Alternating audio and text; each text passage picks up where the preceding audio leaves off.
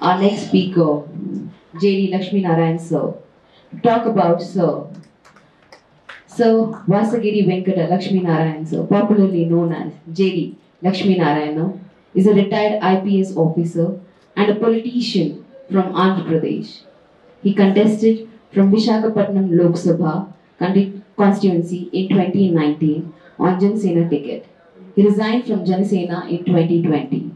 He recently declared that he would contest again from Vishakhapatnam in 2024. V.V. Lakshmi Narayana worked as Additional Director General of Police, Mumbai.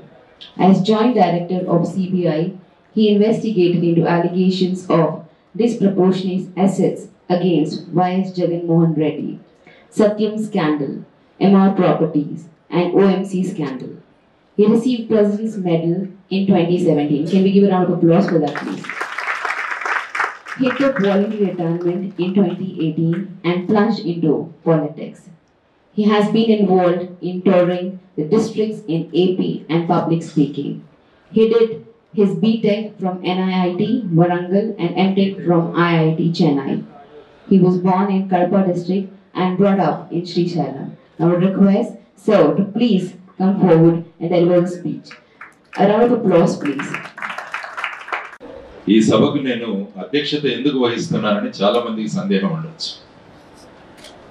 అంటే ఇటువంటి గొప్ప వ్యక్తి యొక్క సభకు నన్ను అధ్యక్షుడిగా చేయడం అన్నది నా అదృష్టంగా నేను భావిస్తాను. ఎందుకంటే నేను ఈరోజు మీ ముందు మాట్లాడుతున్నానంటే పివి గారు ముఖ్యమంత్రిగా స్థాపించిన రెసిడెన్షియల్ స్కూల్ విద్యార్థిని. ఆయన మన రాష్ట్రంలో మూడు ప్రాంతాలకి మూడు రెసిడెన్షియల్ స్కూల్స్ ఉండాలని నిర్ణయించాను రాయలసీమ కొడిగినహళ్ళిలో మన తెలంగాణకు సర్వేల్లో ఆంధ్రప్రదేశ్ ప్రాంతానికి దాడికొండ కాబట్టి ఆ కొడిగినహళ్ళిలో నేను చదువుకున్నాను కాబట్టి ఎప్పటికీ కూడా ఈ స్థాయికి ఈ విధంగా అభ్యసించడానికి ప్రధాన కారణం పివి నరసింహారావు కాబట్టి రామచంద్రమూర్తి గారు నాకు ఫోన్ చేసినప్పుడు నేను ఎందుకు అని అడగకుండా వెంటనే అంగీకరించాను. కాబట్టి అటువంటి మహానుభావుడి గురించి మాట్లాడే అవకాశం నాకు వస్తుంది కదా అన్నది నాలో ఉన్న స్వార్థం. కాబట్టి ఆ స్వార్థంతో ఈరోజు ఈ కార్యక్రమానికి అధ్యక్షత వహించే గొప్ప అవకాశం నాకు దొరికింది. వేదిక మీద ఆసీనులైన పెద్దలు సంజయ్ బారు గారు ప్రభాకర్ రావు గారు రామచంద్రమూర్తి గారు మా శర్మ గారు కార్యక్రమానికి విచ్చేసిన ఎంతో మంది పెద్దలు. హాఫ్ లైన్ అనే పుస్తకాన్ని నేను చదివాను వినయ్ సీతాపతి గారు రాసి ఆ పుస్తకం చదివిన తర్వాత నరసింహారావు గారు హాఫ్ లైన్ కాదు రోరింగ్ లైన్ అనిపించింది. Is roaring lion. And is a complete man కాబట్టి హాఫ్ లైన్ అన్నదాన్ని it's not a appropriate title for that book it should have been a roaring lion and a complete man కాబట్టి అటువంటి వ్యక్తి గురించి మనం నేర్చుకోవడం చాలా అదృష్టం. ఎందుకంటే భారతదేశ స్వాతంత్రానికి డెబ్బై ఐదు సంవత్సరాలు నిండింది ఆజాదీకి అమృత్ మహోత్సవం జరుపుకుంటున్నాం. పివి గారికి వందేళ్ళు రెండు వేల ఇరవై ఒకటిలో మనం శత జయంతి ఉత్సవాలు ఇరవై ఒకటి ఇరవై రెండులో జరుపుకున్నాం.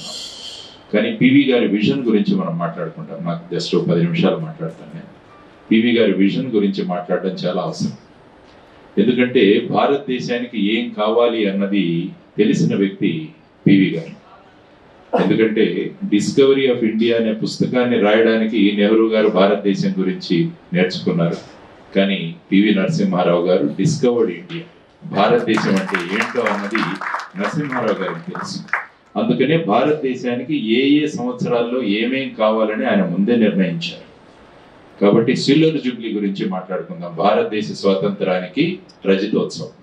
అంటే పంతొమ్మిది వందల డెబ్బై రెండవ సంవత్సరం. అదే సంవత్సరంలో ఆయన ముఖ్యమంత్రి అయ్యారు ఆంధ్రప్రదేశ్. కాబట్టి ఈ డెబ్బై రెండు ఈ ఇరవై ఐదు సంవత్సరాల్లో భారతదేశానికి ఏం కావాలి అంటే విద్యకు ప్రాధాన్యత ఇవ్వాలి అని ఆయన నిర్ణయించుకున్నారు. విద్యకు ప్రాధాన్యత నిర్ణయించుకొని ఆయన చేసిన మొదటి పని సిల్వర్ జూబ్లీ సంవత్సరంలో కర్నూలులో సిల్వర్ జూబ్లీ కళా కాలేజీని స్థాపించారు కాబట్టి సిల్వర్ జూబ్లీ కాలేజ్ ఏదైతే కర్నూలులో ఉంది దాన్ని స్థాపించిన మనం. ఆ తర్వాత విద్య గురించి విద్య యొక్క గొప్పతనాన్ని గురించి ఆయనకు మించి ఇంకెవరికి తెలియదు. కాబట్టి ఆ విషయాలు కూడా మనం తెలుసుకుంటే ఎందుకంటే ఆ కాలంలో విభజనవాదాలు చాలా ఎక్కువగా ఉండేవి. పంతొమ్మిది వందల డెబ్బై డెబ్బై ఒకటి అరవై తొమ్మిది చూసుకుంటే మొత్తం ఆంధ్ర ప్రాంతం అంతా కూడా విభజనవాదాలు ఎక్కువగా ఉన్నప్పుడు ఆ విభజనవాదాలన్నింటినీ కలపడానికి ఈ సిల్వర్ జూబ్లీ కాలేజ్ పెట్టడం జరిగింది. ఆ తర్వాత నేను చెప్పినట్టు ఈ మూడు రెసిడెన్షియల్ స్కూల్స్ కూడా స్థాపించడం జరిగింది. అంటే ముఖ్యంగా ఆయన భారతదేశం యొక్క ఇంటలెక్చువల్ కెపాసిటీని ఆయన గుర్తించారు. ఈ ఇంటలెక్చువల్ కెపాసిటీని గనక మనము ప్రోత్సహించగలిగితే కొన్ని సంవత్సరాల తర్వాత వీళ్ళు దేశానికి ఉపయోగపడే ఆస్తులుగా తయారవుతారని చెప్పి భారతదేశం యొక్క రజతోత్సవ సందర్భంగా సిల్వర్ జూబ్లీ నుంచి ఆయన విద్య మీద కాన్సన్ట్రేట్ చేసుకుంటూ వచ్చారు. ఆ తర్వాత ఎందుకంటే విత్తనం వేసిన తర్వాతనే కొన్ని సంవత్సరాల తర్వాత దాని ఫలితాన్ని మనం చూడగలం. అందుకని ఇప్పుడు ప్రభాకర్ రావు గారు అన్నారు ఆయన చేసిన సంస్కరణలు రెండు వేల పద్నాలుగు తర్వాత అందరూ గుర్తించడం మొదలు పెట్టారని కాబట్టి దార్శనికులు ఎవరైతే ఉంటారో వారందరూ కూడా భవిష్యత్తుకు ఏం కావాలో అన్నది ముందే నిర్ణయించుకొని వాళ్ళ విత్తనాలు వేస్తుంటారు అటువంటి మహానుభావుడు. ఆ తర్వాత ఆయన హ్యూమన్ రిసోర్సెస్ డెవలప్మెంట్ మినిస్టర్గా ఉన్నప్పుడు చేసిన కొన్ని విషయాల గురించి మనం మాట్లాడుకోవాలి. యాక్చువల్గా రాజీవ్ గాంధీ గారిని అప్పటి వరకు ఎడ్యుకేషన్ డిపార్ట్మెంట్ అన్నది మినిస్ట్రీ ఆఫ్ ఎడ్యుకేషన్ దాన్ని తీసివేసి ministry of human resources development అని వాళ్ళ తీసేయచ్చు. ఇది ఉపయోగపడుతున్నట్టు లేదు. అర్థం ఎక్కువగా. కానీ పర్లేదు. పర్లేదు పర్లేదు. దాని గురించి ఒక్క సందర్భం నేను మాట్లాడతాను. ఎందుకంటే ఇప్పుడు పివి ప్రభాకర్ రావు గారు ఎందుకంటే ఆయనకు ఫస్ట్ హ్యాండ్ ఎక్స్పీరియన్స్ ఉంది. అందులో అనేక విషయాలు మాట్లాడారు. కానీ ఆయన ఈ ఎందుకంటే ఇది చాలా ఉపయోగపడే విషయం.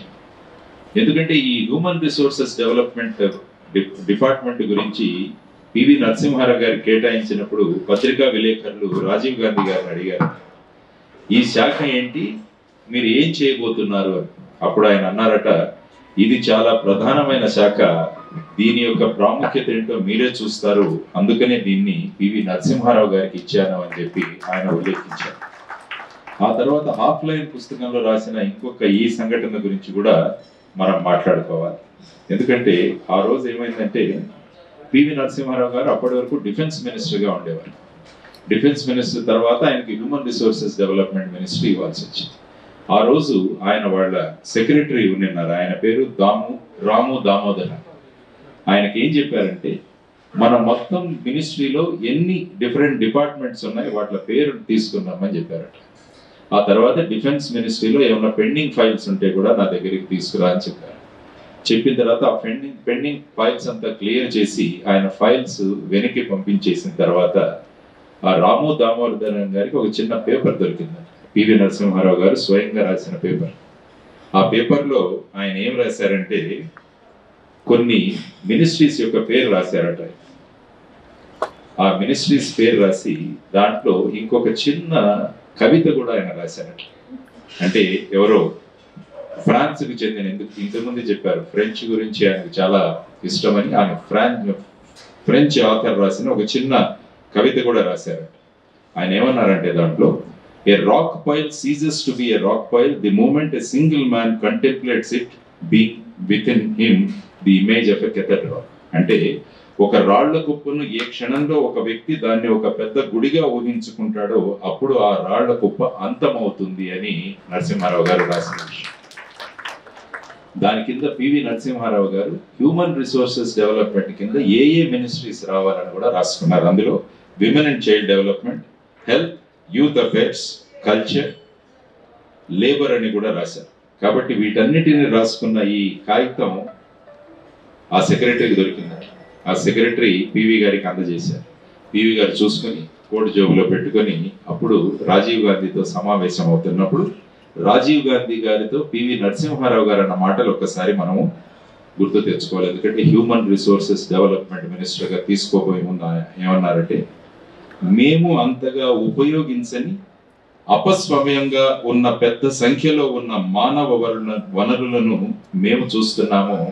కానీ మీరు ఒక పెద్ద గుడిని చూస్తున్నారని ఆ ఫ్రెంచ్ పోయట్ రాసిన కవితను రాజీవ్ గాంధీకి ఆయన చెప్పారట మేమంతా కూడా ఈ హ్యూమన్ రిసోర్సెస్ ఏవైతే ఉన్నాయో భారతదేశంలో వాటన్నిటికీ ఒక పెద్ద సంఖ్యని మాత్రమే చూస్తున్నాం. కానీ మీరు ఒక గుడిగా భావించి ఆ శాఖను నాకు అప్పగిస్తున్నారు. దానికి తగిన న్యాయాన్ని నేను చేస్తాను అని చెప్పి ఆయన రాజీవ్ గాంధీని గారిని కన్విన్స్ చేసి కేవలం ఎడ్యుకేషన్ డిపార్ట్మెంట్ మాత్రమే ఇస్తే సరిపోదు. ఈ డిపార్ట్మెంట్లన్నీ ఉంటే తప్ప నిజంగా హ్యూమన్ రిసోర్సెస్ను మనం డెవలప్ చేయలేమని ఆయన కన్విన్స్ చేసి వాటన్నిటిని కూడా తీసుకుని వచ్చారు. కాబట్టి ఇది ఎందుకు రాస్తున్నానంటే విద్య యొక్క ప్రాధాన్యతను తెలిసిన మహానుభావుడు పివి నరసింహారావు. కాబట్టి సిల్వర్ జూబ్లీ నుంచి గోల్డెన్ జూబ్లీ వరకు ఆయన ప్రధానంగా కాన్సన్ట్రేట్ చేసింది విద్య మీద. ఆ తర్వాత let us go to fifty years of independence fifty years of Indian Indian independence తీసుకుంటే నైన్టీన్ నైన్టీ సెవెన్ కాబట్టి ఫిఫ్టీ ఇయర్స్ ఆఫ్ ఇండియన్ ఇండిపెండెన్స్ను మనం గుర్తుంచుకునే విధంగా ఆయన ప్రధానమంత్రిగా ఉన్నప్పుడు తొంభై ఒకటి నుంచి తొంభై ఆరు వరకు ఆయన తీసుకొచ్చిన సంస్కరణలు అమోఘం. ఎవరు కూడా ఊహించలేని సంస్కరణలు ఆయన తీసుకొచ్చారు.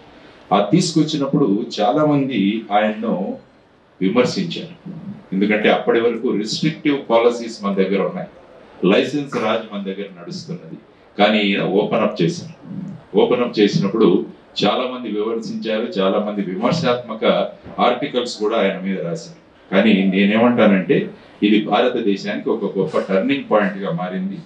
చాలా మంది బయట వారు మన దేశంలో ప్రవేశిస్తారని చెప్పి కూడా చాలా మంది అన్నారు.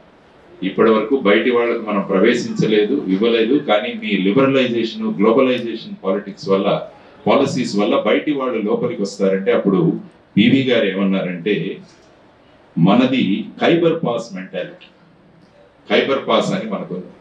ఆ ఖైబర్ పాస్ ద్వారా బయటి వాళ్ళు లోపలికి వచ్చారు మన దేశానికి. ఆఫ్ఘనిస్తాన్ కానీ ఇరాన్ కానీ వీరందరూ కూడా మన దేశానికి వచ్చారు. కానీ మనం ఖైబర్ పాస్ను ఉపయోగించి ఆ దేశాల వైపు మనం వెళ్ళలేకపోయాము. అది మన మెంటాలిటీ. కాబట్టి నేను తెస్తున్న ఈ పాలసీస్ ఏవైతే ఉన్నాయో వాటి ద్వారా బయటి వాళ్ళు మన దగ్గర రావడం కాదు మనం బయటికి వెళ్ళే అవకాశం మనకు దొరుకుతుందని చెప్పిన దార్శనికుడు పివి నరసింహారావు గారు. కాబట్టి మనకు ఎప్పుడు ఏం కావాలో అందించేవారు ఎవరంటే మన తండ్రి. నాన్న ఎప్పుడు కూడా ఎప్పుడు పిల్లవాళ్ళకు ఏం కావాలో తెలుసుకొని ఆ కాలానికి అవి అందిస్తుంటారు. కాబట్టి మన దేశానికి కూడా పివి నరసింహారావు గారు దేశానికి ఎప్పుడు ఏమి కావాలో అన్నవి మనందరికీ కూడా అందించిన మహానుభావుడు. కాబట్టి గోల్డెన్ జూబ్లీ ఫిఫ్టీ ఇయర్స్ టైంలో ఆయన ఇచ్చిన గొప్ప కాంట్రిబ్యూషన్ ఇంతకుముందే ప్రభాకర్ రావు గారు చెప్పారు మన పంజాబ్ తీవ్రవాదం కానీ అగ్రికల్చరల్ సెక్టర్లో ఎన్నో రిఫార్మ్స్ తీసుకొచ్చారు. తర్వాత మన పంచాయతీరాజ్ సిస్టమ్ ఏదైతే ఉందో దానికి ఆద్యులు పివి నరసింహారావు గారు ఇలా చెప్పుకుంటూ పోతే ఎన్నో విషయాలు మనము తెలుసుకోవచ్చు. ముఖ్యంగా ఎఫ్డిఏలు మన భారతదేశంలోకి రావడానికి తర్వాత డబ్ల్యూటీవీలో డబ్ల్యూటీఓలో భారతదేశం ప్రవేశించడానికి ఇవన్నీ కూడా దాని వెనకాల యాభై సంవత్సరాల స్వాతంత్రానికి ఏం కావాలో అని మనకు తెచ్చినవి. నవ్ ఆజాదీ కా అమృత్ మహోత్సవంలో ఉన్నాం. డెబ్బై ఐదు సంవత్సరాలకి పివి నరసింహారావు గారు ఏమి ముందే ఆలోచించి పెట్టారన్నది కూడా మనం ఆలోచించాలి. లుకింగ్ టువర్డ్స్ ఈస్ట్ అని అమ్మాయి చెప్పింది ఇందాక. ఆయన ఎప్పుడు చెప్పారు మనం ఎప్పుడు వెస్ట్ వైపు చూస్తున్నాం you should look towards east ఎందుకంటే ఏడు వందల సంవత్సరాల చోడుల సామ్రాజ్యం మన ఈస్ట్లో ఉండింది మనకు. కాబట్టి ఆ దిశగా మనం చూడాలని ఆయన మనకు ఎప్పుడో మనకు సూచన చేశారు. కాబట్టి ఇప్పుడు ప్రస్తుతం మనం అది చెయ్యాలి అని భవిష్యత్తులో భారతదేశం ఏం చేయాలని కూడా సూచించిన మహానుభావులు పివి నరసింహారావు గారు. కాబట్టి ఆయన ఇరవై ఐదు సంవత్సరాలు యాభై సంవత్సరాలు ఆజాదీ అమృత మహోత్సవం సందర్భంగా కూడా ఏ విధంగా మారాలి అని ఆయన అప్పుడే చెప్పారు. ఆ దృష్టికోణంలోనే ఆయన నవోదయ విద్యాలయాలను స్థాపించడం జరిగింది. నవోదయ విద్యాలయాల ద్వారా ద్వారా ఒక మంచి ఆస్తులను భారతదేశానికి తయారు చేయాలి. వాళ్ళు రీసెర్చ్లోకి దిగాలి. రీసెర్చ్ ద్వారా మన భారతదేశాన్ని ముందుకు తీసుకువెళ్ళాలన్న సంకల్పంతో ఆయన పెట్టిన నవోదయ విద్యా సంస్థ. కాబట్టి ఇప్పుడు భారతదేశం ఏం చేయాలో అని కూడా ఆయన మనకు సూచించారు. ఇప్పుడు భారతదేశం చేయాల్సింది ఎడ్యుకేషన్ ఇన్స్టిట్యూషన్లో రీసెర్చ్ పెరగాలి. ఇన్స్టిట్యూట్కి ఇండస్ట్రీకి మధ్య ఉన్న సంబంధాలు పెరగాలి. ఎందుకంటే ఇప్పుడు అతిగా మనం ఎక్కువగా ఖర్చు పెడుతున్నది డిఫెన్స్ ఎక్స్పెండిచర్.